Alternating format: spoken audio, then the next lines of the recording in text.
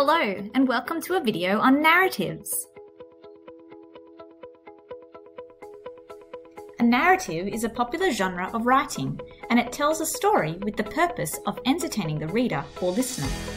Often, narrative writing is referred to as creative writing or storytelling. Telling and sharing stories is a key part of all cultures. We hear and see stories everywhere and every day. They can be both fact or fiction. There are many types of narrative texts, such as picture books, short stories, novels, and traditional tales. Often these are shared through oral retellings. Unlike other genres of writing, narrative texts consist of a variety of subgenres. For example, adventure, fantasy, fairy tales, drama, sci fi, and many more. Narratives usually follow a clear and simple structure, with a beginning, called the orientation, middle, the complication and events, and end, often referred to as the resolution. The orientation is where the storyteller sets the scene.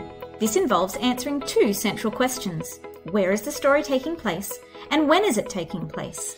The answers to these questions depend on the type of story being told.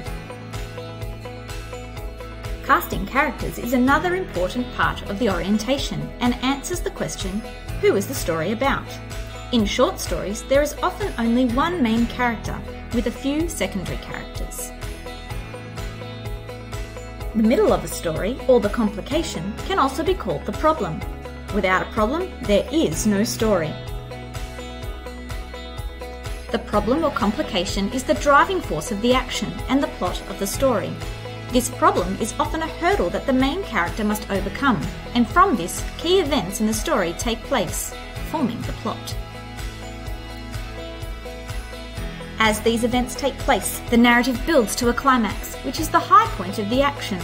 This is the point in the story which determines if it will have a happy or tragic ending.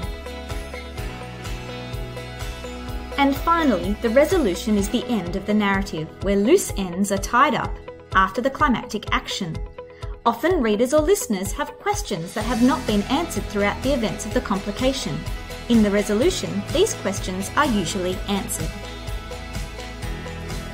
So, in summary, a narrative is a text that tells a story. It can be fact or fiction. Narratives follow a clear structure. They have an orientation, a complication of events, and a resolution.